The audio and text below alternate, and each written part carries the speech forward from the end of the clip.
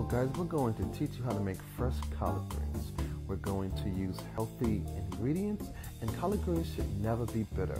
So we're going to teach you how to make fresh collard greens.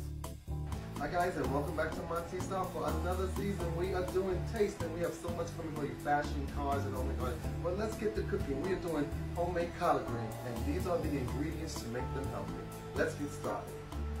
So now we're going to have fresh collard greens. Make sure you cut out the rind and we're going to to take a smoked turkey wing and put it into a half a gallon of water with our seasoning of garlic pepper and garlic salt and garlic powder and turmeric and all seasoning with crushed hot peppers.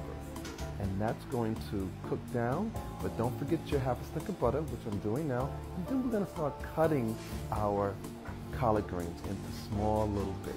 And after that, we're just going to put them inside of our little pan and we're going to check our broth. And your broth should be ready within at least an hour. Taste it and the broth should be really good. If it is, add your apple cider.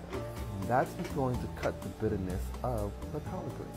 And it should be boiled down to where my finger is. So you should have at least two cups of broth and now start adding your collard greens. Once you start adding your collard greens, let them cook for at least 35 minutes. Add in your peppers and onions if, if that's what you desire, and then they're all ready.